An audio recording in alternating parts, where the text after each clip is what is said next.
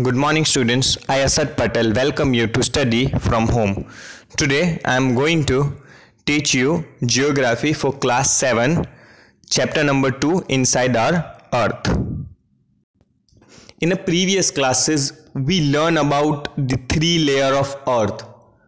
Okay? Then types of rock that is sedimentary rock, igneous rock and metamorphic rocks. And we also discuss i also explain you about the subtypes of this each rocks okay? For example types of sedimentary rocks types of igneous rocks types of metamorphic rocks. And partially i explain you about uses of those rocks. Now uh, that also I, I already explained uh, those in my previous class. Now i am going to explain you what is rock cycle okay?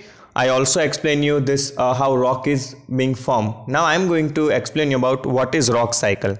The rock cycle is an is a concept used to explain how the three basic rock type are related and how earth process over a geologic time. Change a rock from one type into another. Plate tectonic activity along with weathering and erosional process are responsible for the continued recycling of a rocks.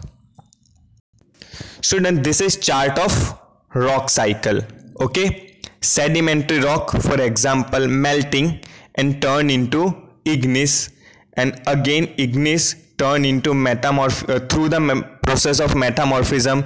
It is uh, turned into a metamorphic rock. Then again, it is through the metamorphism. It is convert into a form into a sedimentary rock. So this is how rock cycle is working or this is the process of rock cycle. Now there are three main types of rock sedimentary igneous and metamorphic.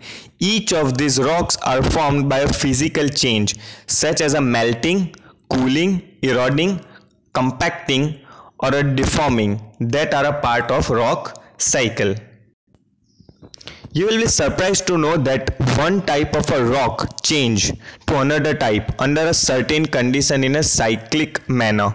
This process of transformation of the rock from one to another is known as a rock cycle. You have already learned when the molten magma cools it solidifies to become a igneous rock. These igneous rocks are broken down into small particles that are transported and deposited to form a sedimentary rocks. When the igneous and sedimentary rocks are subjected to heat and pressure, they change into a metamorphic rock. The metamorphic rocks which all which are still under great heat and pressure melt down to form a molten magma this molten magma again cool down and solidify into igneous rocks. Now rocks are made up of a different minerals. Minerals are naturally occurring substance which have a certain physical properties and definite chemical composition.